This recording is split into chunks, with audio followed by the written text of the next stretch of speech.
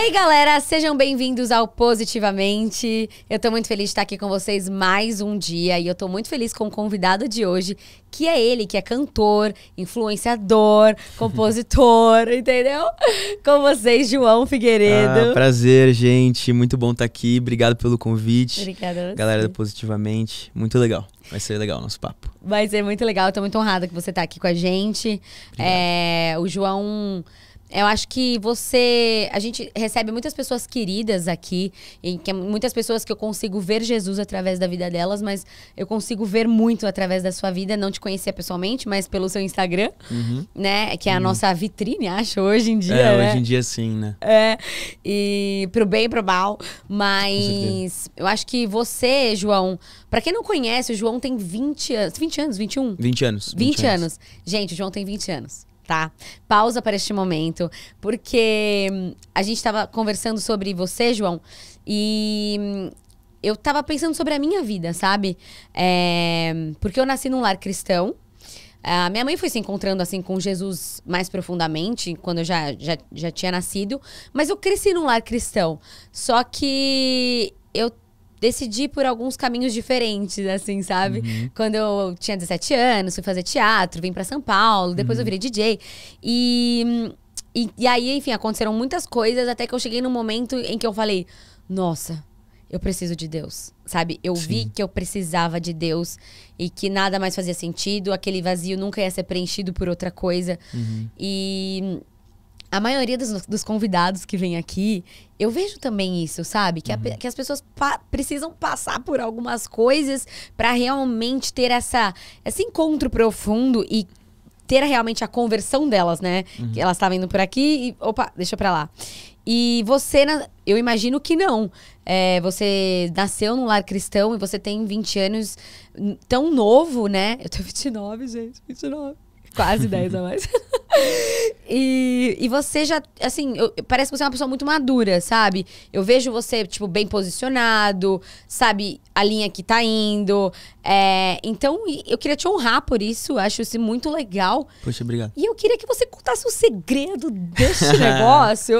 Brincadeira. Mas Cara, mais ou menos isso. É, é, as pessoas sempre me perguntam isso, assim. é, sempre a gente acaba entrando nesse assunto. Eu imagino. E eu já me questionei muito e também já.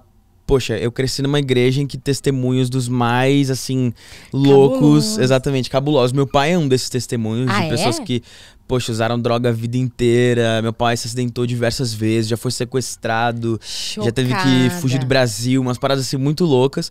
E depois Jesus vindo e transformando a vida dessa pessoa. E eu ouvindo tudo isso, eu, sempre, eu crescia perguntando, falando, Deus, e o meu testemunho? eu não tenho um testemunho mirabolante, sabe aquela coisa de chegar e você conta o testemunho, aquelas loucuras que você viveu.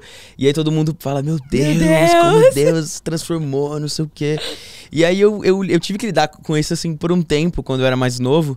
E uma dessas vezes que eu tava perguntando isso pra Deus, Deus falou comigo, é, João, a glória do testemunho não tá sobre um passado cabuloso, mas sim sobre quando eu entro na história e transformo, transformo tudo pra minha glória. Uau. E ele falou assim, deixou muito claro assim no meu coração de que a o meu, meu testemunho não é, é de não ter de fato vivido tudo isso e ter entendido e experimentado a presença dele desde cedo. E essa é a glória de estar em Cristo, né? Então, a Amém. parte gloriosa de toda a história que Jesus entra é a parte que Jesus entra. Não é todo o, o passado é, ruim ou histórias muito loucas que aconteceram, enfim, porque às vezes a gente valoriza tanto esses acontecimentos Aham. antes de Jesus e a gente esquece que, na real, o, o ponto alto da história é quando Jesus entra. E Uhum. aí Jesus começou a ministrar meu coração. Você não precisa de um grande testemunho para tocar pessoas. Você só precisa contar de fato e manifestar aquilo que eu sou para você. E quando eu entrei na sua vida, a forma como eu entrei na sua vida. Eu acho que esse entendimento me, me esclareceu sim muita coisa sobre o meu chamado, sobre a minha postura. Porque muitas Uhum. vezes eu pensava, poxa, será que eu preciso de uma história? Será que eu preciso de um testemunho para pregar É. o evangelho? Aham. E aí Deus começou a falar comigo, não. E eu falei, poxa, é, é, é, isso, faz sentido. E às vezes tem muitos adolescentes, jovens que me acompanham, que cresceram na igreja também, uhum. e que às vezes podem até sentir isso, sabe? Poxa, todo mundo tem uma história muito louca de conversão e eu não. E eu não. E a minha história, Deus? Né? Mas a glória, a glória tá nisso, sabe? De do Senhor ter sido suficiente desde o começo. Uau. E isso bastou. E, e, eu acho que isso cooperou muito, assim, para eu viver tudo que eu vivo hoje, esse entendimento. Mas sobre a, a, o amadurecimento, né? Ser maduro que você falou eu acho que vem muito também da forma como eu, eu fui criado. Uhum. Meus pais não, nunca me pouparam da, das situações, das circunstâncias, da, do que a gente estava vivendo. Sempre foi tudo muito claro, muito transparente. Eu acho que isso me fez crescer uma criança, depois um adolescente é, muito consciente, muito sabe? Bom. Sobre as coisas naturais, as coisas da vida e também as coisas espirituais que eu sempre fui envolvido desde muito pequeno. Uhum. Então eu lembro, assim, de ter célula na minha casa e várias coisas acontecerem, milagres milagres acontecerem, é, aconselhamentos, é, pessoas às vezes até caírem possessas no chão. E eu, mesmo pequeno, eu não era tipo, não, sai daqui, sai daqui, criança não uhum, pode ver, criança é. não pode estar aqui.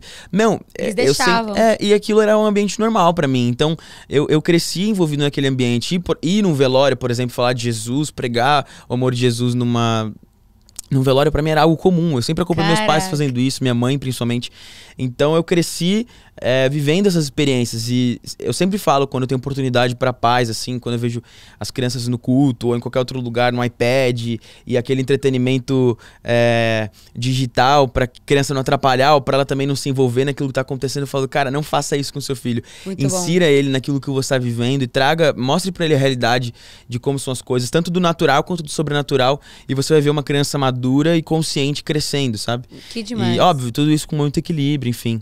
Além do meu testemunho, na verdade, o testemunho da minha família de restauração, que quando eu tinha uns seis anos, meus pais se separaram e eu fui muito assim inserido nesse processo, eu participei, tinha ciência de tudo que estava acontecendo. Então acho que isso exigiu de mim também um amadurecimento assim precoce para lidar com as coisas, entender. E eles se divorciaram quando eu tinha, não se divorciaram no papel, mas se separaram por uhum. sete meses quando eu Caramba. tinha seis anos. Mas é, desde então minha mãe falava que tinha um propósito que Deus restauraria e Deus restaurou. Hoje eles são pastores, cuidam de casais, de Uau, famílias. Que demais. Então a gente vive esse testemunho aí. Mas foi essencial para mim, é, como indivíduo mesmo, ser não ser poupado da realidade das coisas. Quando a gente passou, teve uma época que a gente passou por uma crise financeira muito grande. A gente sempre viu muito bem. Mas teve uma época que a empresa do meu pai, a escola da minha mãe não estava indo muito bem, a gente passou por uma crise. E nessa época, quando é, teve uma noite específica que eu lembro que não tinha leite e não tinha. Hum. ninguém tinha dinheiro para comprar leite. E a gente com carro importado na garagem, com moto, uma casa boa, é, duas empresas, mas não tinha dinheiro. E meu irmão muito pequeno, e meu irmão pedindo TT, meu pai pegou um resto de leite condensado que tinha na geladeira. E ele misturou aquilo com água, agitou na mamadeira do meu irmão e deu para ele e começou a chorar. E eu, pequeno, mas presenciei tudo aquilo minha mãe me chamou e falou assim: vamos orar, porque Deus é um Deus de provisão. E a gente foi pro quarto é, e a gente começou a orar. Eu lembro, eu lembro muito bem dessa cena. A gente começou a orar, é, agradecendo a Deus e, e, e pedindo por provisão. Uau. Passaram cinco minutos, é, tocou a nossa campainha e meu pai, minha mãe foi lá ver. Era um mecânico da nossa rua, a pessoa mais simples assim da rua, que ia na célula que a gente fazia em casa. É, meu pai até achou que ele ia pedir aconselhamento, ministração, coisa do uhum. tipo. Ele ficou tipo, poxa, Deus, como que eu vou aconselhar alguém sendo que, que eu tô passando, tô tipo assim, na, na pior fase, sabe? Questionando Deus, falando, poxa, Deus, por quê? Uhum. Né? E aí, meu pai vai lá, atende ele, ele fala, cara, eu tô muito envergonhado de estar aqui, mas eu tava tomando banho a água lá do, do meu chuveiro parou de sair, eu tava todo ensaboado. Eu gritei minha mãe, mãe, você não pagou a conta? Ela falou, não, paguei, tá tudo certo. E Deus falou comigo, vai no supermercado e compra um fardo de caixas de leite pro Figueiredo e leva lá na casa dele. Nossa. Figueiredo meu pai. E aí ele falou assim, então eu tô muito envergonhado porque eu sei que vocês têm condição mas Deus me pediu para trazer isso aqui e levantou um fardo de caixa de leite cinco minutos depois. A Eu gente se ajoelhar para orar sobre a provisão e, e Deus mandou isso. Então, assim, é, meus pais sempre me inseriram é, na realidade, sabe? Na Muito vida bom. real. Desde Muito o natural bom. quanto do sobrenatural. Uhum. Então, tá faltando, a gente vai clamar. E nosso Deus, ele é o suficiente para prover. E ele vai prover. E, e exerci, exerci ali minha fé, né? Fui ensinado e, e impulsionado a exercer minha fé desde muito pequeno. No bom ou no ruim. Que então demais. acho que isso cooperou em ser em em me tornar a pessoa que eu me tornei, enfim. Mas eu sou muito grato aos meus pais por isso, sabe? E eu pretendo levar isso para a educação também dos meus futuros filhos também. Com né? certeza, não tenho dúvidas. É, eu- nossa, isso é demais. A gente sempre fala que papo vai, papo vem, mas é sobre família. Sim, Sempre sobre família. sim, muito. é, é muito importante, é a base, é o fundamento, né? Então, eu vejo a diferença, assim, quando eu converso com uma pessoa que teve uma família. Que é isso, também não. A gente tem um público, João, muito também mais velho, sabe? Então é muito legal você que tá ouvindo que é mãe ou pai, é, sabe? Não poupe o seu filho. Isso é muito legal. Você ser 100% transparente com Sim. o seu filho, conversar sobre assuntos que não são falados. Por exemplo, é, relação sexual, né? Exato. As pessoas- os pais não falam. E aí a criança, a criança, adolescente, aprende na escola, aprende com outro adolescente. Você fala assim, cara, quem, quem você quer que ensine isso pro teu filho? Um, um outro adolescente que também não sabe nada? Ou você Exato. e a sua igreja? Né? É muito pertinente a gente trazer esses, esses temas aqui e, e inserir realmente os seus filhos nisso. E eu tô muito feliz que eu acho que, através da sua vida também, é, a gente vai alcançar um público mais novo, sabe? Que nesse sentido, assim, Legal. porque. É, por exemplo, eu tenho um irmão de 18 anos e ele é a coisa mais linda do mundo, assim, mas ele ainda não é, encontrou um lugar, assim, que ele realmente se identificasse é, com Deus, sabe? E eu vejo que, que a gente tá criando um espaço aqui pra isso, então eu fico muito feliz. Louvo a Deus pela sua vida. Que bacana. E, João, é, assim, você sempre foi inserido nesse meio de células e tudo mais da sua casa, né? E eu fiquei chocada do seu pai, do testemunho do seu pai. Sim, muito, Caramba! muito louco, assim. Muito louco, e tipo, quase né, passou por um divórcio. Então, assim, Sim. vê como Deus realmente restaura, Sim, Deus né? restaura, assim, completamente. Meu pai, ele era o bicho grilo, assim, muito louco. Ele era da muito- praia? É, total, surfista. Ah, tipo. É. Minha mãe, um oposto, assim, muito certinha, uma santinha, casou virgem. é, se converteu já? com 14 anos, sim. se converteu com 14 anos, ela se tornou obreira da Universal. Ela foi pra Universal com a minha bisavó, porque ela tava com um tumor no seio. E a minha mãe tava com um tumor no seio, adolescente. E minha bisavó viu na rádio que era uma igreja que benzia, ela não tinha nem ideia do que, que era. E aí minha mãe foi, e quando ela pisou na igreja, o tumor dela sumiu. E aí ela falou, cara, eu quero isso pra minha vida. E aí com 14 anos ela se entregou assim completamente pro ministério e começou a servir na igreja. Então ela conta pra mim que ela ia tipo entregar sopa pros mendigos à noite na rua, muito nova. É, domingo, 5 horas da manhã ela tava indo pra igreja pra preparar tudo pra servir. É, então ela desde muito nova inserida nisso. E aí por outro lado meu pai, muito louco, mais velho que ela, é, entrou na igreja com moto, muito drogado. O Bola era o Ministério de Jovens dentro da Renascer, da Igreja Renascer, que rolava num, Caramba. num dia específico lá, tipo um sábado à noite, assim. E meu pai, uma vez, ele já era amigo do Rina antes deles se converterem, de ambos se converterem, já usaram droga junto, uma aquela Não. loucura. E aí, uma vez, um amigo do meu pai falou: Cara, vamos comigo. É, numa igreja, enfim. N- não falou que era igreja, falou, vamos comigo num lugar, põe uma roupa mais ou menos Ah. e bora. Me leva lá, tal, não sei o quê.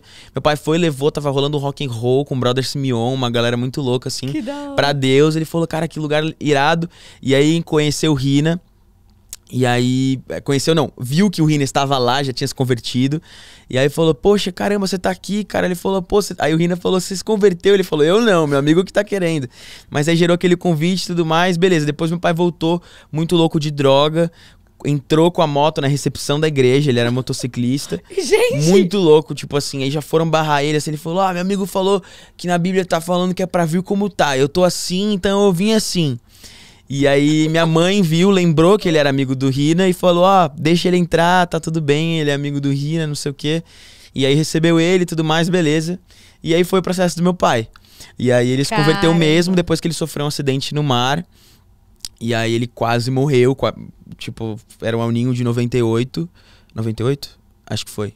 É, que ondas assim gigantes na praia de Uau. Cambuí, no litoral norte de São Paulo. Uhum. E aí todos os surfistas saindo do mar e meu pai virou à noite. Ele tinha ficado um ano em santidade, sem usar droga, é, se gua- se guardando mesmo sexualmente. Irado. E aí, numa noite anterior a esse acidente, ele caiu, cheirou pó pra caramba, usou muita droga, ficou com uma menina. E dia seguinte, aquelas ondas, ele foi pro mar e sofreu um acidente.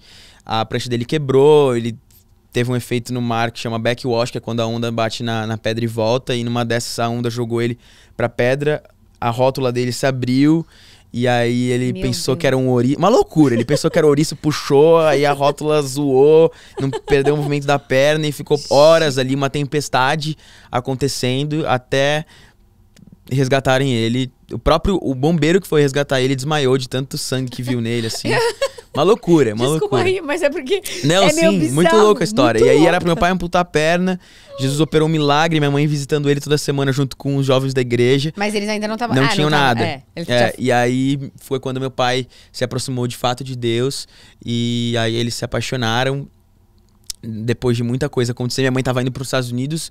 Deus usou uma profeta para falar que ela não ia para os Estados Unidos. Ela tava, eles estavam fazendo um propósito no monte. Enfim, uma história muito louca. Caramba! Um dia eles podem até vir aqui para contar. Nossa, porque eles são, eu, eu quero. Eles hein? contando é muito como legal. Que é da, como que é o nome de sua mãe? Minha mãe chama Eli, meu pai Figueiredo, Figueiredo é o sobrenome, mas é Luiz Antônio. Figueiredo. Olha, Dona Eli, É. é. Figueiredo. Dona espero- nada, se ela vir você falar dona, ela vai ficar brava. Ai, tá bom, então não, Eli, dona ela não. tem 43 anos, Eli super nova. maravilhosa, super jovem, super cool.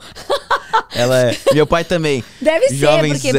Não, é muito legal. Um pastores descolados, assim, Adoro. tipo, todo tatuado. Meu pai é muito Ih, louco. É. Espero vocês aqui no Positivamente. Não, tô, Com certeza. estou Traz ele, você vai amar a saber a história deles, assim, muito Eu bom. vou trazer, de verdade. Não, porque eu, eu, eu honro muito a história dos nossos pais, sabe? A minha mãe recentemente estava aqui também contando, porque meus pais também quase passaram por um, por um divórcio. E hoje nós estamos aqui, glória a Deus, e que a gente possa propagar Legal. isso para os nossos filhos. Você propaga para seus filhos, filhos seus filhos, seus filhos, aquela música. E os filhos. Isso aí. Não, mas que demais. E assim, você cresceu nesse contexto, então depois de tudo isso que aconteceu, né, com os seus pais, é, mas, e Jesus sempre foi real pra você? Ou você teve uma virada de chave, assim? Sempre foi muito real, mas óbvio, eu tive, tive uma virada de chave, assim, quando. Foi quando a ficha caiu que Jesus o Deus era dos meus pais poderia ser o meu Deus, Ah, sabe? O mesmo Espírito Santo que habita nos meus pais e que usa os meus pais, ele também habita em mim e, e se eu quisesse, ele poderia me usar. E aí virou essa chave, sabe? Na minha cabeça, quando eu tinha uns 14 anos, eu falei: caraca, o mesmo Deus que usa é, profetas, missionários, evangelistas, pessoas que eu tenho muita admiração, ele pode me usar. E, eu, e só eu me abri pra isso. E aí eu comecei a me abrir pra isso e viver isso. Com certeza rolou essa, essa chave. Mais assim, ou menos quando, assim?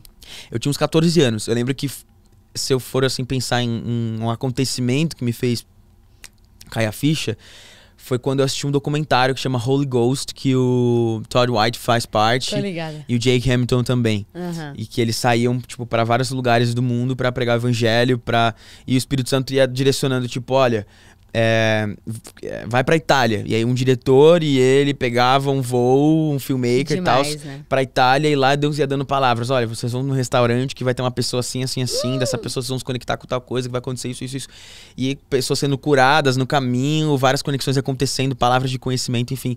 E eu vi tudo aquilo e eu falei, caraca, eu quero viver isso. E aí uma chave virou e, tipo assim, eu lembro que naquela semana eu reuni o grupo de jovens da igreja dos meus pais, Aham. que eu era que eu já fazia parte ali da, da liderança do- dos jovens.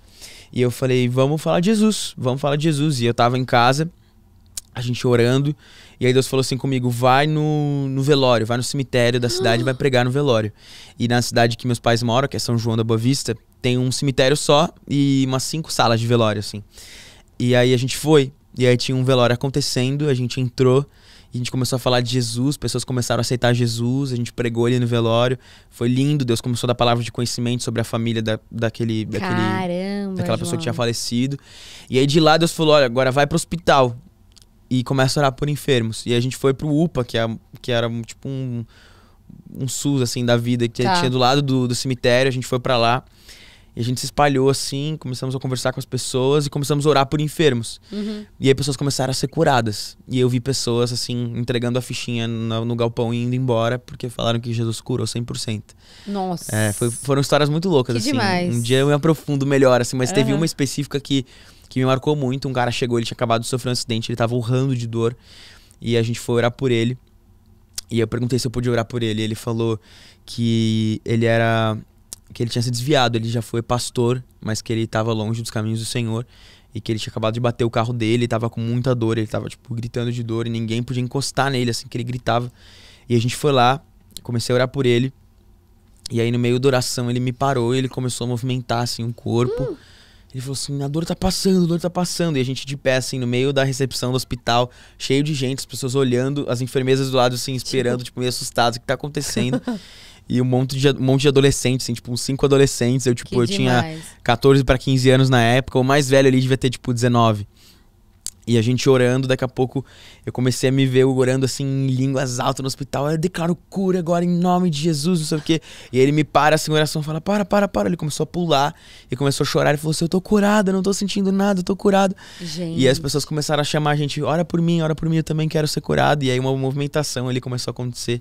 E aí a ficha caiu, sabe? Isso é. Deus pode me usar. Eu só, eu só preciso está aberto para isso. Não importa onde, sabe? Pode ser na minha escola, pode ser no hospital, pode ser numa praça, Amém. pode ser no velório. Eu só preciso estar aberto para que o Espírito Santo fale e me use, né? Para que ele, para que eu seja um instrumento, para que através de mim vidas possam ser alcançadas.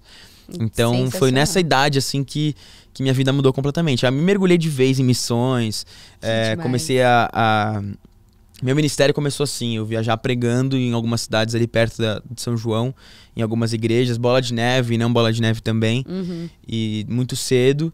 E, e, levando esses adolescentes comigo, a gente fazendo essas movimentações nas igrejas, enfim. E aí começou a acontecer assim. Até que Uau. uma pessoa, o meu líder do, do ministério lá, falou para mim: você precisa é, voltar a cantar. Porque eu cantei mais novo. Uhum. Eu comecei a cantar muito novo. Fui para um programa de televisão, pro Raul Gil, programa ah, de calouros. Que legal! Participei um tempo ali. Cantei, depois mudei de cidade, fui pro interior, deixei isso meio de lado. Fiquei servindo mais tocando bateria, que foi meu primeiro instrumento. Uhum. E até que o líder do, do, louvor da minha igreja falou: Cara, você tem que voltar a cantar. É, a música vai ser uma ferramenta, uma ferramenta para alcançar os corações. Onde a sua palavra não chegaria, a música vai chegar. E eu resisti até que houveram algumas confirmações, comecei a cantar. E estamos aí até hoje. Que demais! Nossa, João, sensacional. E é isso, né? Olha como é importante os meios de comunicação também. Olha como é importante isso Total. que a gente está fazendo, sabe? Porque foi através de um documentário, né? Que você viu Sim. e que é, o Espírito Santo tocou no seu coração e você foi ativado e você ativou outras pessoas. Então, assim, uhum. assim, olha como é importante a gente compartilhar aquilo que Deus está fazendo. Não, muito. E e o mais legal é que as pessoas, essas duas pessoas em específico, tanto o Todd White quanto o Jake Hamilton, uhum. que eu poxa, com 14 anos assim, virei fã, os caras viraram tipo, caraca, minha referência. Uhum. Fui pra Índia, que eles, no documentário eles iam pra Índia, eu fui pra Índia fazer missões também, que com um grupo de missionários, quando eu tinha 18 anos. Tinha acabado de fazer 18 anos, fui sozinho pra Índia, foi uma loucura. Foi tipo uma... não, loucura. Minha passagem, no final das contas, era uma fraude, não tinha passagem para voltar pra Índia, da, da Índia pro Brasil. Passei maior perrengue sozinho na Índia com 18 anos. Mas enfim, resumindo, vou, quando eu voltei, comecei a ministrar. É, ministrei numa conferência com o Jake Hamilton traduzindo ele, tipo, ele, ele cantando Chocado. em inglês e eu traduzindo ele para português, cantando em português. Uau! E uma das pregações do Todd White também ministrei louvor e ele me chamou para ministrar na conferência dele. Então, assim, minhas duas referências maiores, assim, de evangelismo, de louvor, de, de, de estilo de vida, de lifestyle, tanto com família, como pais, como pregadores, tudo estavam ali na minha frente, eu tendo a oportunidade de ministrar com eles, sabe? Eu Nossa. contei a história para eles, eles se emocionaram, enfim, falaram, cara, vocês serviram de ativação para o meu ministério acontecer. E Olha eu sei isso. que se hoje meu ministério impacta vidas, tem muitas pessoas que foram responsáveis por ativar isso em mim. Então, Amém. meu objetivo também é, é, é, é poder né? fazer isso, sabe, nas pessoas. Tanto tá dentro da igreja quanto fora da igreja, sabe? Com certeza. Intencionalmente. Assim. E você tá fazendo, né? É isso, eu falo, eu sempre falo que o propósito ele não acaba em nós, ele começa em nós. Exato. Então o Senhor ele te transforma, te levanta para que através da sua vida outras sejam ativadas. Sim. E você vê como isso é poderoso, é isso é muito poderoso. E esse é o nosso intuito aqui do, do positivamente, sabe, João? Você tava falando isso. Eu falei, caraca, a gente não tem noção de onde a nossa mensagem chega, sabe? Do meio de comunicação. E a gente criou esse espaço assim, no, nasceu no nosso coração, realmente fosse um espaço que a gente tava conversando, falando para você, né, pra gente compartilhar sem hora para acabar, tipo, uhum. aquilo que tá no seu coração, que Deus fez, as pessoas possam conhecer ainda mais você é, e aquilo que Deus faz através da sua vida. E aqui no Positivamente, a gente tem se você não sabe, porque você não escuta positivamente, você vai escutar. é, tem dois tipos de quadro, assim. Uhum. É, quadros mais ligados à autoridade Então, pessoas do nicho mesmo, é, que tem uma propriedade para falar sobre assuntos. Então, você é uma autoridade. Olha, que Olha, que gente, importante. tá que importante. e, e tem um, um quadro que chama Encontro com Deus. Que Uhum. quando a gente tava, já tava fazendo, Deus tocou no meu coração e falou assim: é. É para comunicar com, a- com os cristãos, quem tá na igreja, mas também para quem tá fora. Então a gente teve no coração assim de chamar pessoas que não são pastores, mas que são cristãos. Sim. Então são pessoas que são publicamente conhecidas, mas não falam de Jesus abertamente, muitas vezes por não ter, sei lá, tem vergonha. Então a gente tem feito Ou até mesmo pro, pro, pro propósito, assim. Eu, eu, eu vejo muito isso, assim. É. E eu, eu, sim, tem muitos amigos que são influentes fora da igreja, que são cristãos, mas que eles entendem, assim, como um propósito, talvez não abertamente levar isso como uma, como uma mensagem da sua vida, Aham. né? Através das coisas que trabalham e fazem, Aham. mas que ao mesmo tempo influenciam positivamente as pessoas, revelando um caráter de Cristo pelas suas atitudes, nem só pelas suas Uau. palavras. Então, eu, eu percebo muito isso e eu acho que, que isso, é, isso é muito legal, assim. Essas pessoas, elas conseguem chegar em pessoas, em lugares que eh, nem todos chegariam, Muito bom. Falando com a sua vida, né? Como Daniel fez, por exemplo, na Bíblia. Uhum. Que ele, poxa, fez não só com que um rei, mas como todo um povo reconhecesse que o Senhor era o Senhor, né? Que Deus era era era o, era o verdadeiro Deus através das suas atitudes. Daniel ele nunca abriu a boca para falar, para reclamar, para é. bater o pé e falar vocês estão me julgando injus- injustamente, né? Quando ele foi lançado ali para para a cova dos leões, eh, ele não reclamou, ele continuou em silêncio, sabendo que Deus o justificaria. E aí a sua a sua vida foi o maior testemunho. Exato. Então eu carrego muito isso assim também como um, como um objetivo, sabe? Muito a bom. minha vida ela tem que falar mais do que as minhas palavras. Muito é bom. por isso que a Bíblia fala: "Quão formosos são os pés, né, do que, dos, dos que levam o evangelho". Porque porque não é uma boca, né, que solta as palavras? Porque os pés eles mostram a- eles deixam marcas por onde e como você andou. Uau. As suas palavras elas podem dizer uma coisa e a sua vida ser completamente diferente. Então, os pés elas deixam, eles deixam marcas, como a pessoa andou e por onde essa pessoa andou. Então, eu acredito que a nossa vida, o nosso, o nosso comportamento, as nossas atitudes pregam muito mais do que as nossas palavras. Então, eu adotei muito isso assim como como estilo de, de mensagem pra mim, as minhas atitudes, não só as minhas palavras. É, não, sensa... olha, gente, com vocês, João. Não, é que eu tô compartilhando mas- porque mas é é uma coisa que as isso. pessoas, eh, elas de fato esperam, tipo assim, poxa, É. você se converteu, agora você tem que colocar na Só bio do seu Instagram. É. É, você tem que colocar na bio do seu Instagram um versículo, você tem que é, postar fotos com, com, com legendas crentes embaixo. E, cara, Não é eu, eu isso, acho né? que a gente acaba colocando numa caixa Deus, sendo que Deus se manifesta de formas muito diferentes. De 1 até 3, por exemplo, que foi a última música que eu lancei, a penúltima, na verdade. Eu vou respirar bem fundo. Ó, já, já conhece isso aí. Você Se você não conhece. ouviu, inclusive, pode ouvir. Tá nas minhas plataformas, no YouTube, enfim. Ai. É uma, é uma canção que eu não falo a palavra Deus. Não e mesmo. eu falo diretamente pra ele, relacionado a ele, mas em nenhum momento eu falo Jesus, Deus. E quando eu falo para ele, eu falo você. E essa, isso incomodou algumas pessoas. Ah, Tipo com assim, certeza. Das milhares de comentários que tem lá, tes- testemunhos, enfim, é, eu li assim 5 ou 10 negativos e eram em cima disso, sabe? Pronome de tratamento relacionado a Deus. Tipo, não é senhor, é você. Exatamente. Como ah, como fosse- você pode ousar em chamar Deus de você? E eu falo, cara, Deus ele se, ele se preocupa muito mais com a intenção do Com que com o pronome de tratamento. Até mesmo porque é, no inglês a gente fala you. You pode ser tu, É. pode ser você, pode ser o Senhor, pode ser qualquer coisa. É você. Em português tem você, tem Senhor. e tá tudo bem. Na real, o que. O, qual que é a essência daquilo? Eu conheço canções que falam é, palavras muito mais formais e pronomes de tratamento muito mais, é, enfim, de formas eloquentes, etc., mas que carregam uma essência tão, tão ruim, assim, tão podre, que eu falo, cara, eu prefiro falar você e, e permitir com que essa mensagem alcance pessoas e transforme a vida de pessoas de uma forma positiva do que, do que me moldar num padrão Eu só vou cantar de estética, assim, é. mas o meu interior ser diferente. Por isso que eu falo, a, a sua, as suas atitudes falam, vão falar muito mais do que as suas palavras. E eu acho que as suas atitudes têm falado muito mais, né? Tipo assim, você vai casar. Sim. Gente, ele vai casar com Graças a Deus. 20. Olha que incrível. Vou casar. Não, que demais. Olha, João, Te parabenizo, porque eu tenho, eu tenho 29 e ainda não casei. Não, mas chega pra todo mundo. Ah, né? chega, com certeza. Deus Cada tá, um numa fase. Tá né? aqui no tempo, né? Tá no processo. Eu falo É. isso aqui, depois chove comentário das pessoas querendo me casar. Gente, tá tudo certo, viu? eu só tô parabenizando ele, porque eu acho Obrigado. isso sensacional. É... Eu, e eu acho que as pessoas ficam meio em choque, né? Tipo Ficam. assim, cara, você tem 20 anos, vai casar? Ficam, ficam Como assim. assim? Você sabe o que você tá fazendo? Eu já falei isso pra É, você. exato, já, já falaram várias vezes. Tanto pra mim quanto pra, pra Sasha. Tipo assim, caramba, mas vocês são muito novos, vocês vão casar. E, cara, sobre o casamento, eu acho que não, não tem segredo. Quando você tem certeza do amor que você tem por aquela pessoa e ela por você. E quando você identifica que seus propósitos, seus objetivos fazem sentido com o que aquela pessoa tem e quer, almeja viver, é, é só você de fato se unir e, e caminhar junto, sabe? Sensacional. Tendo certeza também que é, o amor ele vai além da paixão, né? A É. paixão é muito bom e eu quero viver apaixonado pro resto da minha vida e assim eu vou viver para sempre muito apaixonado por Ah, ela. Com certeza. Mas o amor é uma escolha, né? E é- Uhum. é- eu acho que o ato de, de se unir a alguém é um ato muito racional de você ter plena ciência de que é, faz sentido, sabe? Que vocês dois pretendem caminhar juntos para um objetivo final e esse objetivo ser o mesmo. Amém. Né? Então, Uau. quando seus princípios estão alinhados, quando seus objetivos estão alinhados, é, a sua vida ela ela tá tem, tá alinhada a Cristo e ambos têm o mesmo propósito. No nosso caso, que somos cristãos e carregamos isso como como, como base assim para tudo que a gente faz, é, eu sempre falei antes mesmo de, de namorar a Sasha, eu falei, cara, Deus, eu quero alguém que te ame mais do que me ame.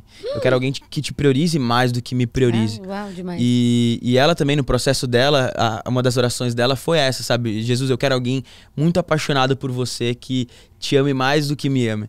E quando a gente, enfim, começou a se conhecer melhor, é, e a gente ficou muito amigo, a gente ficou melhor amigo antes de tudo. Que demais. E a gente conversando sobre isso, quando ela me falou essa frase, eu, eu quase, de- quase caí assim da cadeira. Eu falei, meu Deus, eu quero casar com essa mulher. Ai, que Enfim, e aí a gente se aproximou muito, a gente ficou muito amigo. Depois a gente começou a se gostar, e aí a gente começou a namorar. Depois a gente noivou e a gente vai casar. Então, Amém, que demais. a gente. Eu, eu entendo assim que. É- é, muita- muitas pessoas me perguntam, poxa, mas tão novo. Eu entendo que não é por idade, é igual maturidade. Maturidade não é idade, é, Não. é quando você entende, quando você passa a viver como aquele que entendeu.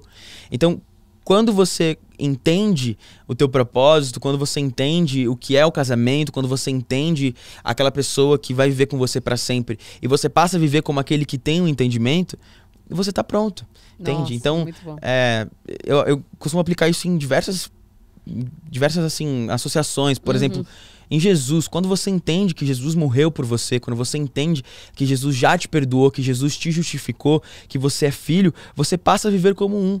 Não é que você tá se achando, não é que você tá, é, enfim, é, enfim, deixou de lado a religião, não, é que de fato você entendeu É. que Cristo vai muito além e você passou a viver como um filho, como um perdoado, como um livre, né? Então é muito sobre o entendimento. Eu sou Sensacional. maduro porque eu entendi de fato o que eu tenho, o que eu quero viver, o meu propósito, o que Cristo tem pra mim. Então, E posso falar, é a melhor escolha, assim, a melhor decisão. Porque, assim, as pessoas que falam, ai, você é muito novo.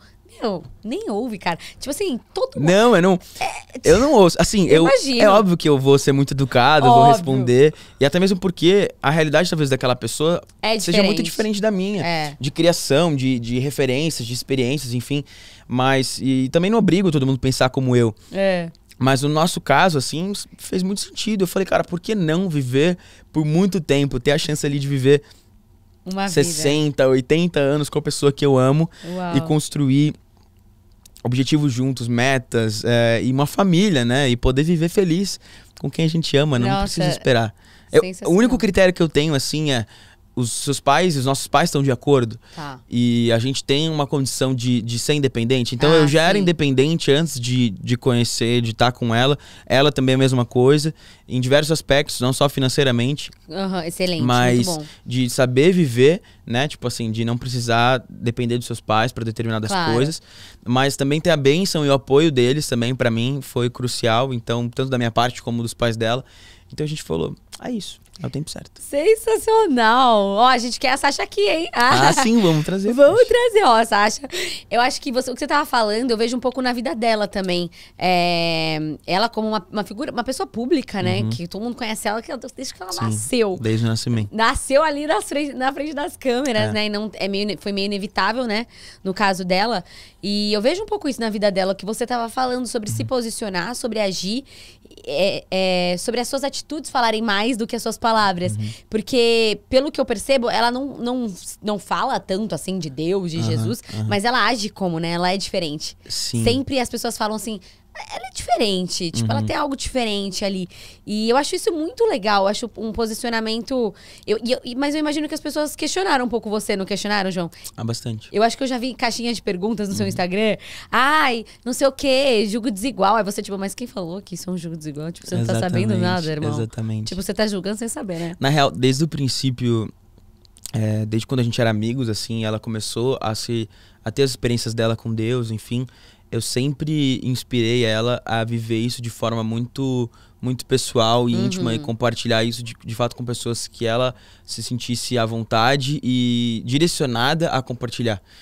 E, e sempre e sempre levei isso de uma forma muito leve, assim, muito tranquila. Uhum. Então nunca me preocupei em, justificar isso para ninguém, sabe? Tem uhum. muitas pessoas que, de fato, no começo, assim, nossa, julgavam pra caramba e, e, especulavam, assim, o que eu coloquei, por exemplo, uma vez eu respondi essa caixinha de perguntas, mas não foi nem essa a intenção de me justificar, foi literalmente falando sobre esse assunto, né? O julgo uhum. desigual, como Sim. ele se aplica, o que é isso. Mas sempre quando eu, eu lia, e já li coisas muito piores do que essa pergunta. Eu imagino. É, eu, eu pensava, cara, eu não precisa, a gente não precisa justificar nada. E Deus sempre falou isso muito comigo. É, você não precisa fazer nada, você não precisa falar nada, você só precisa ser. Então Amém. Então seja, sejam, né? Sejam essas pessoas, façam a diferença quando for possível, aonde for possível. E vocês vão ver o testemunho a partir disso. Então os nossos, os nossos testemunhos, eles vêm muito de momentos assim. É, fora das câmeras, fora dos holofotes, sentado com pessoas que, que a gente tem oportunidade e pessoas que acabam se abrindo e a gente de alguma forma fazendo diferença na vida dessa pessoa, seja com um abraço, seja com estou aqui, conta uhum, comigo, uhum. ou de fato sentando e falando sobre a nossa experiência com Jesus. Então, eu carrego isso de forma muito leve, assim, ela também, sabe? Eu a gente é vejo. é muito livre é. De, de expectativa humana. Eu acho que quando eu começar a corresponder à expectativa humana, eu saio do, do propósito de Deus é. e eu, eu acho que eu sinto, eu sinto até que eu acabo desobedecendo a Deus, sabe? Então, eu prefiro sempre estar alinhado ali à expectativa dele sobre mim porque a expectativa humana ela é uma para você outra uhum. para o outro então Exato. às vezes um quer ouvir uma coisa outro quer ouvir outra então eu prefiro corresponder à expectativa de Deus né a gente adotou é. muito isso para nossa vida então a gente dá ouvido às nossas famílias aos nossos as pastores pessoas realmente... as pessoas que de fato têm voz na nossa vida e o restante a gente ouve com muita educação carinho entendendo a realidade da pessoa mas Filtrando, seguindo né? é, seguindo fiel à nossa essência ao nosso coração Amém. É isso. Eu acho que você falou muito bem. A gente tem que filtrar aquilo que a gente vai ouvir e sim ter pessoas que vão nos aconselhar, né? Como você falou, os nossos pais deram a bênção, os pais sim. estavam de acordo. Então isso é muito importante. Por quê? Porque os nossos pais, eles nos amam, né? Mais, menos do que Deus, é mais do que todo mundo. Exato. Então é muito importante você ter isso. Isso é muito legal, João. E eu acho que as pessoas que ouvem o positivamente gostam muito de saber hábitos, assim, sabe? Uhum. Tipo assim, ai, quais hábitos você tem com Deus uhum. e tal. É, se você puder compartilhar algo que vocês fazem, assim, pra, pra se aproximar de Deus mesmo e inspirar casais que também estão nesse processo, né? Jovens como vocês. Algo que vocês fazem juntos, tipo, vocês oram juntos. O que, que vocês fazem, assim? Ah, sim, com certeza, é. com certeza. A gente tem esse nosso tempo junto com Deus, quando possível, quando a gente tá junto. Uhum. É, quando não, também, porque a gente vive uma correria. Às vezes ela tá num lugar, eu tô em outro. Tá no Rio, eu tô em São Paulo, ou vice-versa. Uhum. E... A, mas a gente tem a gente tem sim esse momento junto com Deus é, os nossos propósitos etc mas uma coisa assim que que eu costumo muito fazer é, no meu dia a dia assim como um hábito mesmo com Deus é, principalmente quando eu tô é, me locomovendo para algum lugar eu ponho ali meu fone uhum. e eu vou me fico conectado o dia inteiro sabe eu Sei. acho que o legal de você ter um relacionamento com Deus o Espírito Santo é que ele não precisa de um lugar específico para falar com você, para ministrar o teu coração. Então, para quem tá conectado com Jesus, tudo fala, sabe? Aham. Tipo, a gente pode estar aqui, eu ver esse copo d'água e vir um insight assim, eu falo, caraca, Deus tá falando comigo Exato. através desse copo d'água, um exemplo, né? Aham. Então eu gosto muito desses, desses momentos assim. é, fora do comum, sabe? Que às vezes a gente acaba vivendo do dia a dia.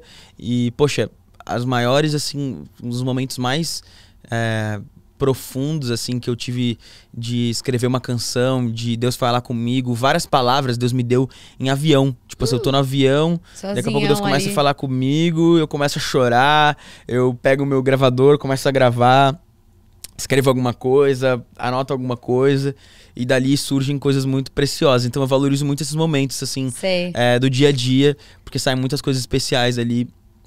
E também, né, o tempo que a gente tira assim Pra falar com Deus, pra ler a palavra, pra se alimentar. Mas experimenta isso, assim. Você tá no teu carro, você tá no trânsito, você tá é, numa sala de espera de uma consulta, você poder, tipo, mergulhar, assim, é, num relacionamento com Deus fora das quatro paredes ali da igreja ou É. do seu quarto, né? Experimentar viver isso no dia a dia, acho isso muito legal. E eu acho que também isso desmistifica um pouco, né, João? Muito. Aquela questão de tipo assim, nossa, eu preciso ter o meu secreto e tal. Precisa, sim, a Sim, palavra é- é fala, muito né? bom, com é certeza. muito bom, mas assim, é isso. Na loucura do dia a dia, você tem uma vida super corrida, eu tenho uma vida super corrida. Eu tô sempre buscando formas também de estar conectada. Eu ouvi um podcast, no caso. Exatamente, Né? exatamente. Colocar um louvor e, tipo, às vezes Deus vai falar dessa forma mesmo com você, sabe? Você tá andando, você viu, meu, uma pessoa pegando, soltando uma pipa. Aí você fala, "Ah, o vento. Aí Deus fala com você. Eu, A gente tem um costume bem legal, é, eu e a Sai especificamente, que a gente gosta muito de assistir é, pregações de uma igreja lá de fora, do, lá nos Estados Unidos, que chama Vull Church. Ela era da Hillsong, lá de, é de Nova co- York. Como que é o nome dele? É o do loirinho? Rich Wilkerson. Aham, é. aham. Poxa, Nossa, ele eles são demais, assim, as palavras dele é muito, tipo, são muito boas. Eu gosto muito do estilo dele de, de falar, muito de também. comunicar. E são palavras profundas, mas de fácil entendimento. A gente gosta, assim, tipo, quando a gente tá, tipo, sei lá, tá tomando um sol, a gente põe lá a pregação dele pra ficar Ah, ouvindo. Tô, tipo, na praia, tô na piscina, ou tô, tipo, no carro, no trânsito, a gente põe, ou tamo no avião, põe no fone, fica ouvindo. Que e fica gostoso. conversando sobre... É bom, porque a gente treina o inglês, É. ouve palavras, se alimenta, eu acho muito legal. E tem esse tempo de qualidade, né? Muito, é. Tem essa, tem uma pregação dele que foi muito, muito, muito importante pro meu processo de conversão, lá em 2018, que chama Timing is Everything. Você já viu? É uma pregação que ele, que ele coloca tipo umas caixinhas de horários. Então ele fala, ó, Ah, você não, dorme, você dorme tantas horas, então tem, te- tantas caixinhas. Então sobra quanto tempo? E ele coloca de uma forma um conceito abstrato, que é o tempo, Uhum.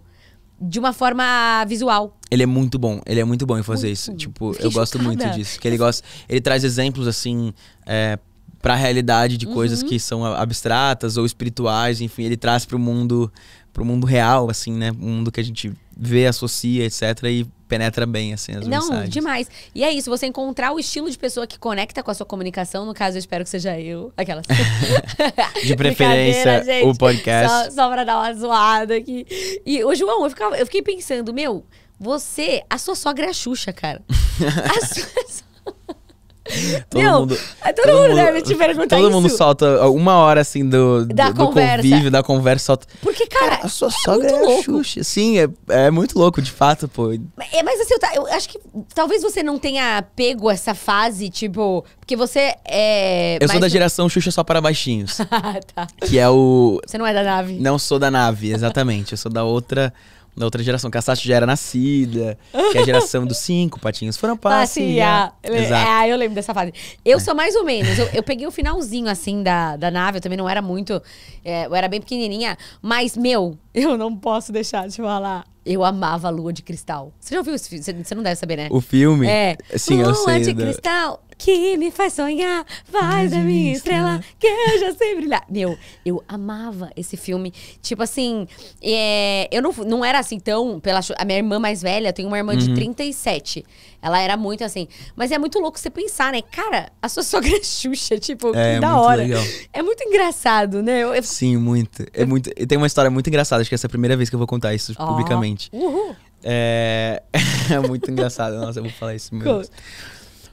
Pro... Ah, eu sou da época do filme Xuxa Mistério da Feiurinha, que é o. O filme que a Sasha é protagonista. Ah! Eu sei qual é. Ela é a feiurinha, exato.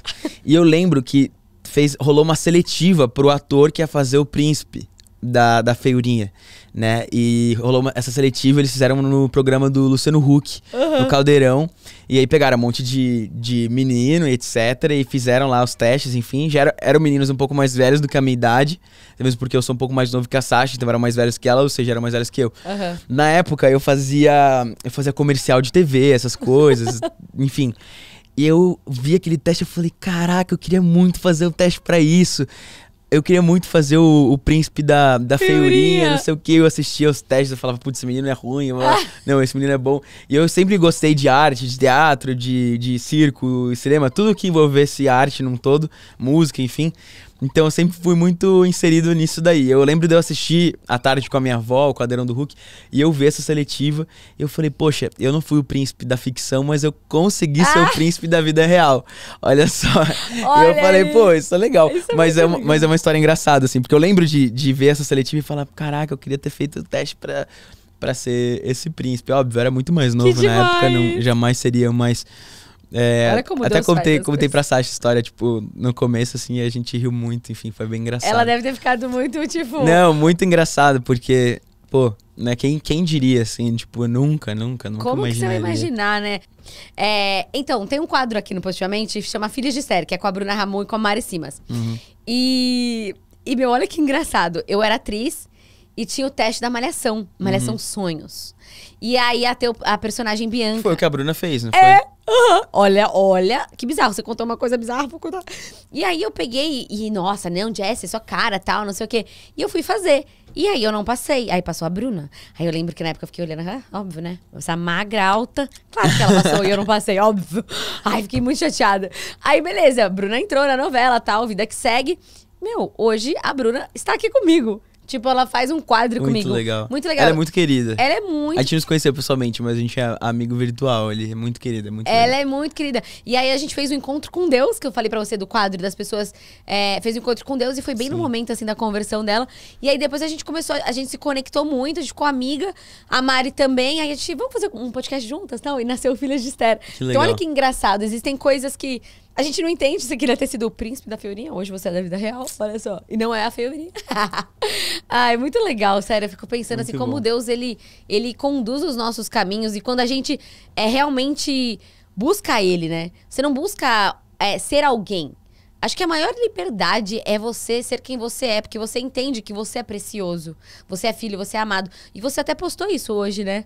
Eu Sim. tava vendo, eu até comentei com a galera que eu falei, caraca, olha o que ele postou. Eu tava vendo seu Instagram, assim, passou os Aham. stories, e a gente ia falar sobre isso. É, você postou que você nunca foi igual às pessoas nessa escola, Sim, né? sim. E eu também não. Nunca fui. Sempre, Nunca fui. Sempre a zoada. É. É, tinha, tinham vezes que era assim, tipo, motivo de, de zoeira. E tinham vezes também que eu só era diferente. E as, as pessoas até, tipo, gostavam disso, curtiam isso por alguma razão. Mas porque eu sempre fui muito ligado à música, sempre fui muito diferente dos outros meninos, assim, no, Zero no futebol. geral. Não curtia muito futebol. O esporte que eu gostava era basquete, era um esporte que não, não era tão comum na educação física, era Não. só futebol. Então, tipo assim, eu não socializava tanto, eu não tinha, por exemplo, ah, aquela rodinha de moleque falando de menina, não sei o quê, tal, tal. Nunca curti tanto esse papo, etc. Uau, então nunca, nunca fui, tipo, esse tipo de, de amigo, assim, sabe? Aham. Então acabou que, poxa, aí eu vinha, por exemplo, no dia do brinquedo na escola, eu levava meu violão, tocava é, One Less Only Girl de Justin Bieber. Ai, eu assim, amava na- essa música, One João. Less Only Girl. Girl, one less- Exato. E aí as meninas, eu lembro da, da cena, a gente no, no refeitório, assim, as meninas sentando em volta e cantando, não sei o quê. E as meninas ficavam, tipo assim, pé da vida comigo, porque, pô, o que, que esse menino que veio de São Paulo, pega um violão, começa a cantar One Less Only Girl. Tá se e- achando o Justin Bieber. Exatamente. E aí gerava um monte de, de, de questão, assim. Então eu sempre eu não tinha tanta amizade, assim, com muita gente na escola. E, mas também me, tipo assim, eu permaneci fiel à minha essência. Não, não, Muito bom. não negocia isso. Eu tava falando isso hoje no É. Instagram. Cara, não negocia a sua essência. Eu tava conversando com uma adolescente e ela me falou que ela começou a, a gravar alguns covers. Ela canta muito bem. E ela começou a gravar alguns covers e postar na internet. E as amigas dela começaram a zoar ela, enfim. Tipo, ah, que você tá cantando na internet, não sei o quê. Porque as amigas dela curtem mais um, tipo, um padrãozinho, tipo, ah, fotinho bonitinha, não sei o quê, pose na praia, no barco, blá, blá, blá, blá, blá. E, poxa, ela quis fazer uma parada diferente. Começou a ser motivo, assim, de, de, de, de zoação, Uhum. né? E eu falei, cara, permaneça fiel à sua essência. Muito Essa bom. fase vai passar e você vai poder construir algo naquilo que você, de fato, quer fazer, naquilo que você ama fazer. E só por você gostar de fazer, já é um sucesso. É. Então, o sucesso não é os reconhec- o reconhecimento, os números, é, o tamanho de público que você tem. E sim de você estar feliz com aquilo que você faz e poder fazer o que você gosta. Ah, uau. Então hoje eu vejo assim, é, eu não sou melhor que meus amigos que, que tipo assim, me tiravam, meus, meus colegas, né, que me tiravam por ser diferente, né, mas eu sou muito feliz e realizado por fazer aquilo que eu gosto. Eu sinto que eu nasci pra fazer o que eu faço hoje. Amém. Então assim, é, você tem um, se eu posso dar um conselho pra você, permaneça fiel à sua essência e não negocie isso pra ser aceito, porque isso pode custar muito caro. Isso É. pode custar muito caro. E eu, hoje assim, eu vejo, tipo, às vezes eu acabo vendo na, na internet, enfim, esses, essas pessoas, até alguns deles, tipo, me mandam mensagem, pô, João, que legal, cara, quanto tempo que a gente não se vê, olha, te vi, tipo, na televisão, te vi em tal lugar, não sei o quê, pô, que bacana, pô, é, que irado que você desde pequeno cantava, não sei o que, tal, tal. Eu falo, cara, pô, legal trocar ideia, não sei o que. Eu acabo lembrando, caraca, essa pessoa já até me zoou por, por, tipo, por cantar ou por fazer alguma coisa diferente, enfim. Aham. Então eu falo, cara, permaneça fiel à sua essência e não negocie isso por nada, muito menos por ser aceito. Você precisa de uma aceitação de Deus. Foi ele que te fez, é ele que você deve a sua vida, não a de nenhuma outra pessoa. E ele já te aceitou. Amém. Então, viva viva baseado verdade, assim né? nisso, exato. E eu falei isso pra essa menina, eu falei, cara, permaneça nisso, acredite nisso e, e siga firme, siga firme no que você acredita é, ser a sua vocação e, e guarda a sua essência, não deixe as pessoas tocarem nisso não, porque muitos acabam desistindo Uhum. porque ouviram de fulano, beltrano, etc, e deixam pra trás uma parada que poderia super dar certo Exato. e poderia super acontecer, aquela pessoa viveria feliz, É. né, fazendo aquilo e acabam deixando de lado por ouvirem a opinião das pessoas. Então, guarda teu coração a respeito disso e, e deixa a sua essência é, prevalecer, né, em meio Amém. às circunstâncias, opinião alheia. É, você adolescente tá ouvindo. É muito sério isso. E hoje eu tava falando com uma das líderes do Ministério de Adolescentes da minha igreja, que eu, eu, me- eu, eu me sinto muito tocada, assim, por essa faixa, sabe, que o meu irmão tá. 18, 17 anos Sim. ali, que você quer ser aceito e você quer ser o descolado, mas ao mesmo tempo você não gosta daquelas coisas. Porque eu vivi muito isso. Tipo, eu fazia balé e minha, todas minhas amigas jogavam futebol. E eu era do balé. E aí eu queria jogar futebol. Aí eu lembro que.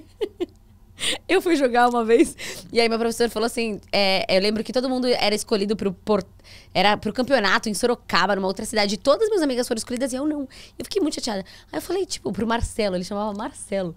Eu falei, professor, por que que você não me escolheu? Ele falou, Jéssica, você é péssima. Ai, dançar balé. Tipo, você é péssima. Aí eu fiquei tipo, nossa. Então, assim, a nossa identidade, muitas vezes, ela é ferida por algumas coisas nessa fase, né? E você fica tentando ser aceito. Mas é, eu vejo como é importante você se manter fiel àquilo que Deus te deu. Eu nunca fui muito normal também, era um pouco zoada, tentei encontrar. é, eu tentei até fazer. Eu queria ser atriz, aí depois eu vi que não era de. Não achava. Não dava certo, eu fui tentar fazer medicina. Falei, não, minha irmã é médica, medicina é mó legal, vou tentar fazer medicina. Meu, tudo errado, João. Eu ia no cursinho, o dia inteiro, ficava no curso o dia inteiro e ia mal. Ia mal, não, não é possível, cara. Essa não era pra ser. Não era pra ser, não era a minha essência. E eu acho que você é essa voz pra essa geração disso também, sabe? Carregue e, e fale isso. Porque eu vejo muito, muitas pessoas desistindo e, e sendo infelizes e se acomo, acom, é, como é?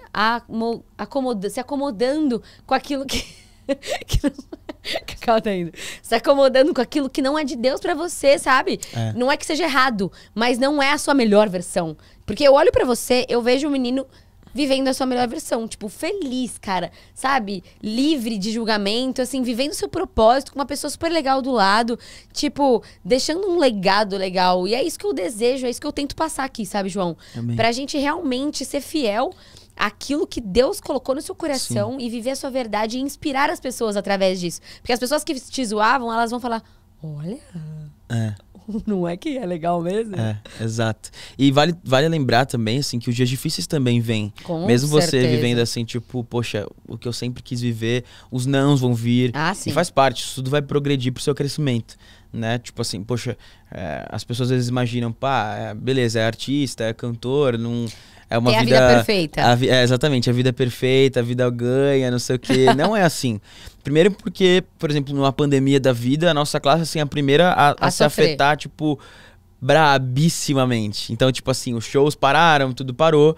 É, quem dependia disso cortou ali sua fonte de renda, não só o artista, mas é, o técnico de som, o músico, Todo mundo, o, né, o técnico trabalha. de iluminação, todo mundo assim que, que tá envolvido É. no- naquele sistema sofre, mas não só isso também, ao longo da sua, da sua trajetória, no meu caso como artista, na carreira, vão ter coisas que não vão dar certo, vão ter coisas que não vão funcionar, vão ter músicas que não vão ser tão ouvidas e, e tá tudo bem, faz parte, faz parte. Tanto que é, até hoje, eu tava até numa reunião semana passada com o meu time, enfim, o diretor, a, a minha distribuidora, etc.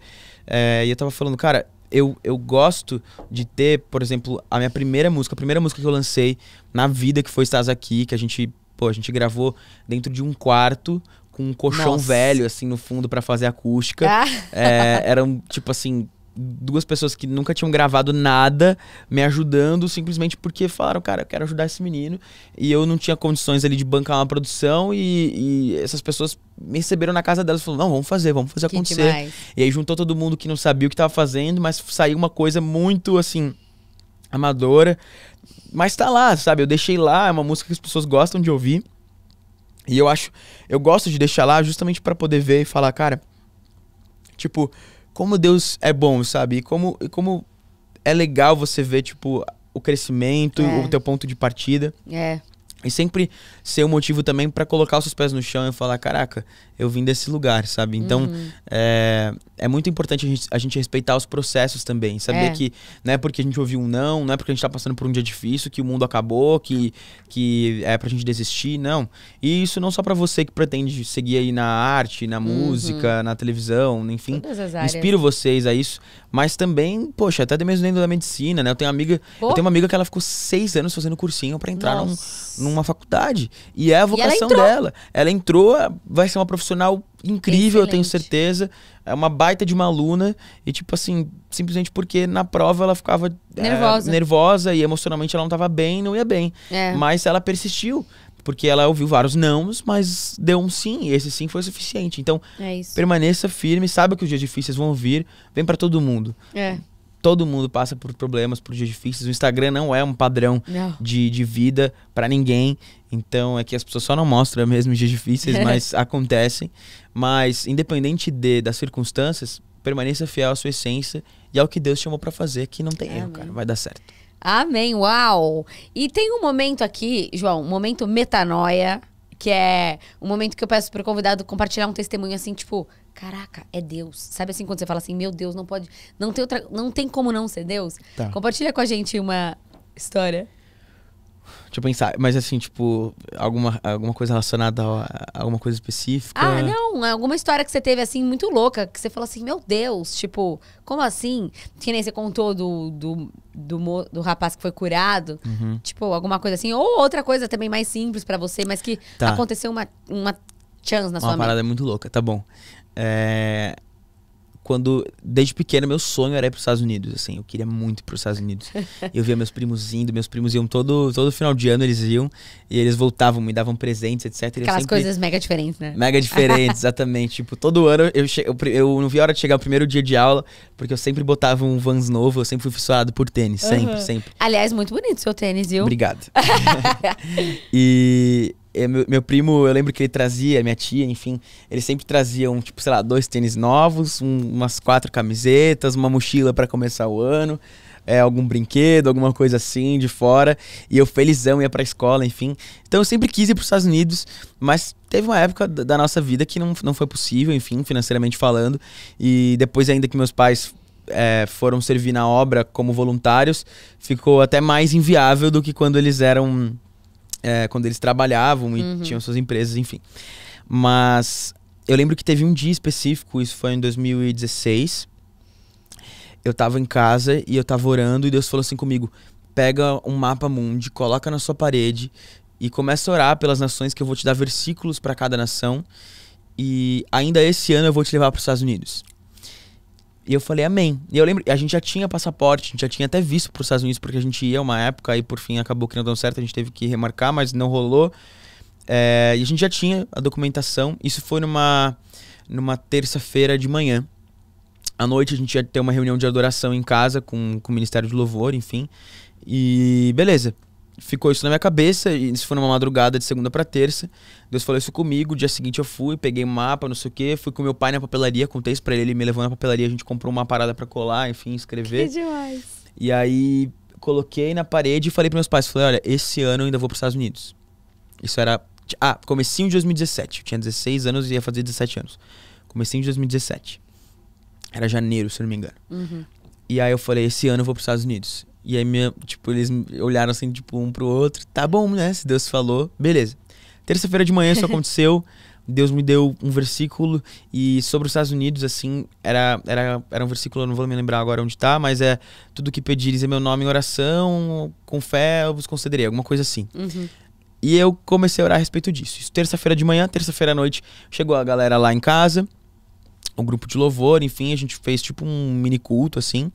E eu lembro que eu cantei lá, tal, beleza. No meio da reunião, subiu a escada, assim, da minha casa, uma, um casal de presbíteros lá da minha igreja, junto com outro, um outro moço que eu não conhecia. E eles sentaram, enfim, aí no final eu tava orando pelas pessoas e Deus me deu uma palavra para esse moço que tava junto com esse casal de presbíteros e eu vi ele indo de um estado para o outro, pegando um voo é, de uma cidade para outra sem parar e o coração da mulher dele muito aflita. É, e falei isso para ele, falei que Deus estava trazendo paz para o coração da mulher dele, confirmação sobre essa nova fase na vida dele. E ele começou a chorar e começou a gravar isso. Hum. E eu não entendi muito bem, beleza, acabou. Ali aquele momento, eu com meus amigos conversando, enfim, aí meu pai me chama, João, vem cá. Aí ele falou: olha, esse é o Ignaldo, ele é irmão da Ninon, ele mora em Nova York há 40 anos, ele veio aqui visitar ela, enfim, etc. E, poxa, ele queria muito te conhecer, não sei o que. Eu falei, oh, prazer e tal, não sei o que, não sei o que. Ele falou, poxa, só queria te compartilhar, assim, que fez muito sentido o que você me falou. Eu, eu, moro em Nova York, mas eu abri uma empresa na Flórida agora e eu tô viajando, tipo assim, toda semana pra Flórida uh. e minha esposa tava, de fato, um pouco Caraca. angustiada sobre, sobre isso, enfim, enfim. Só queria compartilhar que isso fez muito sentido. E eu queria te perguntar uma coisa, você tem passaporte? Eu falei, tenho. Ele falou, você tem visto? Aí eu falei, tenho. Ele falou Deus me tocou para te levar para os Estados Unidos, para você passar um mês lá com a gente, com a minha família, para eu te levar para pregar nas igrejas que a gente é, faz parte da liderança lá para os jovens, enfim. É, ainda esse ano. Você topa? Nossa. Isso foi terça-feira à noite. Terça-feira de manhã, Deus me deu a palavra que eu ia para os Estados Unidos naquele ano. Terça-feira à noite, Deus mandou um cara que, tipo, há muitos anos ele não vinha para o Brasil. Ele estava há 40 anos em Nova York. Ele foi, ele chegou naquele momento de adoração, recebeu aquela palavra, Deus falou com ele. Ele cara. foi e me convidou. E meus pais ali, na hora, ouviram. E eles começaram a chorar. Eu, come... eu fiquei maluco. Eu peguei ele assim, falei, vem aqui no meu quarto. Levei ele pro meu quarto, mostrei a parede, contei pra ele a história. E eu tinha feito até tipo um cofrinho que era. É, me ajude a ir para a missão. e aí eu falei, cara, qualquer. Toda pessoa. Minha casa via cheia de gente, pô, casa de pastor, sempre cheia de gente. Todo mundo que vier aqui, se botar uma moedinha, já me ajuda a comprar alguma coisa para poder, que né? Tipo, comprar dólar, enfim, pra ir. Eu não só recebi uma palavra, como eu me agarrei naquela palavra e falei, cara, eu vou. Se Deus me deu essa palavra, eu vou. Eu vou. E comecei a, a mexer também, assim, a, a, a, meus pauzinhos, né? Tipo assim, poxa, vou fazer isso acontecer. Então, enfim, várias coisas que eu fiz. E naquele momento ele ligou pra esposa e falou: Meu Deus, não sei o que, tal, tal, olha o que aconteceu, Deus confirmou, não sei o que, tal, tal, tal. E meus pais, assim, super felizes, meus amigos, tipo, sem entender nada, meu Deus, que loucura. Eu, muito. Bem... Ele foi lá, pegou 300 dólares, colocou no meu cofrinho e falou assim: Você vai lá pra minha casa, é, não precisa se preocupar com comida, com passagem, com hospedagem, com nada. A gente vai fazer tudo lá por você e o que você quiser comprar lá também a gente vai te dar. Eu quero te abençoar mesmo porque Deus me pediu para fazer isso. E quando ele tava lá, uma empresa ligou para ele, ele fechou um negócio assim, tipo, muito grande, é, financeiramente falando.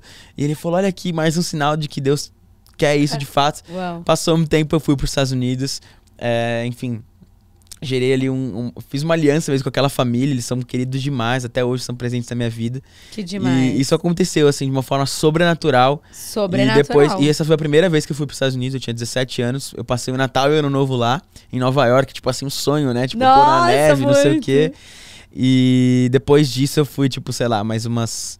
É, seis vezes assim para os Estados Unidos. Algumas vezes eu voltei para essas igrejas também, voltei lá para casa demais. deles. Mas foi a partir dessa viagem, foi essa tinha sido, foi naquele ano que eu saí do Brasil pela primeira vez. E desde então Deus já me levou para tipo 12 países, sabe? Uau. E eu não tinha condição nenhuma de fazer isso pela minha condição própria ou pelos meus pais, não seria nunca viável, mas Deus prometeu, ele cumpriu, ele abriu uma porta e Olha as coisas aconteceram honra, de né? forma assim sobrenatural.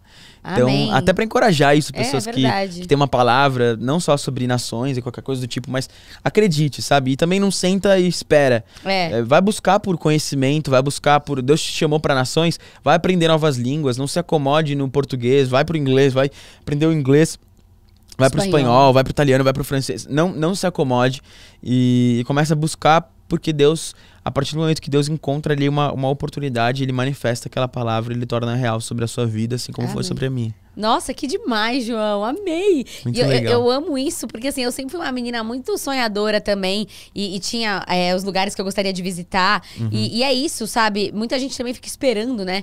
É, oração, eu sempre falo, oração, ação. Exato. ação. Então você tem que agir. Quando você começa a agir, Deus ele vai derramando graça e vai então. abrindo as portas. Então que você seja encorajado pela vida de João Figueiredo, de Jesse. Uhum. e, João, muito obrigada por você estar aqui, você ter vindo aqui. Eu nem percebi o tempo passar. Mano, passou rápido, né? Eu acabei de ver aqui, caraca. É, tipo, passou muito tempo. Se você quiser compartilhar um versículo que você tem meditado, assim, ou uma, algo assim, que você não precisa nem lembrar de cor, assim, alguma coisa que você tá na sua cabeça, pra gente finalizar. Eu acho que esse versículo ele faz muito sentido para pro tempo que a gente vive, assim, de tantas circunstâncias, tantas coisas acontecendo. Sim. É, que às vezes a gente até acaba esquecendo dos planos de Deus para nós, ou até deixando de sonhar, né, uhum. né? De, de planejar, de, de de fato executar aquilo que Deus chamou a gente para ser, para viver, enfim. É, que em Jeremias 29, 11 fala assim: Porque eu sei os planos que tenho para vocês, diz o Senhor, são planos de bem e não de mal, para lhes dar o futuro pelo qual anseiam.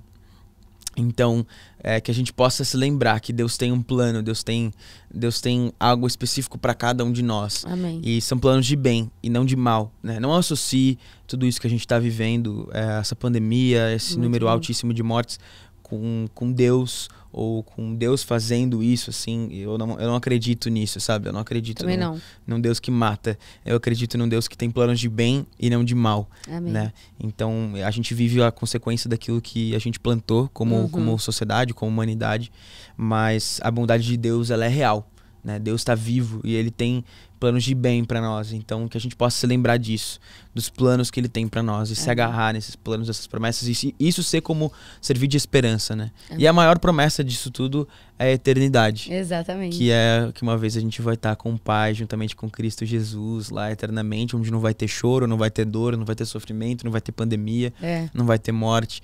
E ali a gente vai viver eternamente. É, com Jesus, né? Amém, uau! E você estava lendo esse versículo, é, eu, eu, minha família é grande, né? Nós somos em quatro filhos, duas irmãs mais velhas e um irmão. E a minha irmã do meio, a Jennifer, ela vai estar tá ouvindo, porque ela escuta todos os podcasts, ela tá se encontrando assim com Jesus, sabe? Sim. E um dia, e olha que louco, do nada tocou o celular dela, tipo, do nada, uma pessoa X. Aí ela, alô, uma mulher ligou e falou assim: Olha, eu tô te ligando porque Deus me deu esse número. E ele mandou declarar, é, ele pediu para eu declarar esse versículo sobre a sua vida. Jeremias 29, 11. Uou. Aí ela, tipo, Jeremias, ela nem, nem sabe direito uhum. assim, né? Ela, Jeremias, anotou. Aí ela me contou isso, mana, você leu? Aí ela, não. Eu falei, então vamos ler, tal, né? Aí a gente leu, aí ela, uau. Aí beleza. Aí passou um tempo no podcast da Mari Simas, ela falou esse mesmo versículo. E hoje você está falando esse mesmo versículo. Então, eu fico muito feliz. E ela está num processo assim com Jesus. Deus tem falado com ela. Que legal. Ela tem tido é, revelações. Então, queria honrar a vida dela também. Como é o nome da sua irmã? Jennifer. Jennifer. Jennifer, se apegue em Jesus. A religião, Amém. ela não, não te leva a lugares profundos, mas um relacionamento com Jesus, sim. É, então não é sobre placas de igreja, não Amém. é sobre a religião, é sobre de fato conhecer Jesus e viver, viver o dia a dia com Jesus, um relacionamento profundo de intimidade com ele. É isso. Amém. Não tem nada melhor do que isso. Ela vai ficar tão feliz. Eu nunca falei ah, dela assim. então é isso, gente. Muito obrigada, João. Eu que amei. Isso, obrigado pelo foi convite. Foi muito legal. Foi muito leve, muito gostoso, muito divertido. Que bom, muito tipo, bom. sério, parabéns mesmo. Que Deus obrigado. te honre, te abençoe. Abençoe seu casamento, seu ministério, seus filhos, suas músicas. Amém. E que seja tudo pra honra e glória dele. Amém. Amém? Amém. E obrigada por você ter ficado aqui com a gente. Sigam a gente lá nas redes sociais. A gente tá preparando várias coisas diferentes aí pra vocês. E é isso aí. Um beijo. A gente se vê na próxima terça-feira às 19 horas. Fica com Deus.